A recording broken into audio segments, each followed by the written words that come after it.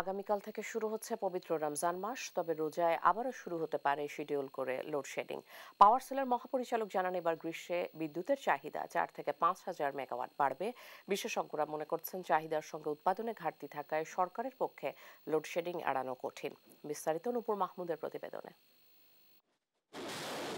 গেল বছর ফেব্রুয়ারিতে রাশিয়ায় ইউক্রেন যুদ্ধ শুরুর পর হঠাৎই বড় ধরনের ধাক্কা লাগে জ্বালানি তেলের বাজারে। জ্বালানি সাশ্রয়ে তিন মাস পর থেকে বাধ্যতামূলক শিডিউল লোডশেডিংয়ে যায় সরকার। এবছরের মার্চে সমস্যার সমাধান হবে বলে জানিয়েছিল বিদ্যুৎ ও জ্বালানি বিভাগ। তবে মার্চ মাসে এসে ভালো খবর দিতে পারল না বিদ্যুৎ ও জ্বালানি বিভাগ।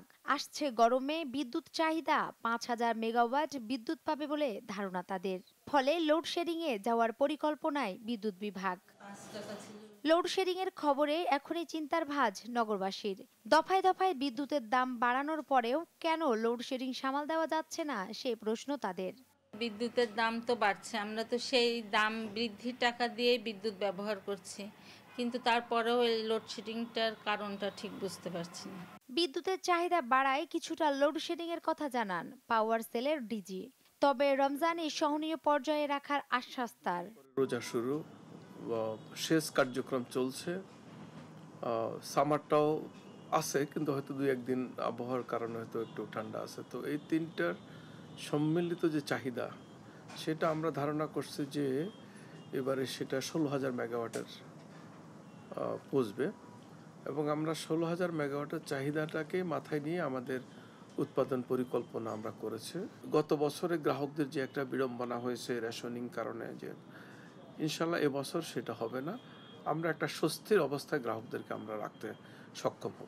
বিশেষজ্ঞরা বলছেন চাহিদার সঙ্গে উৎপাদনের যে ঘাটতি সেই বিবেচনায় লোডশেডিং এড়ানো কঠিন হবে সরকারের জন্য। সরকার বলল যে তারা হিমশিমে আছে। এটা হিমশিমে আছে কেন?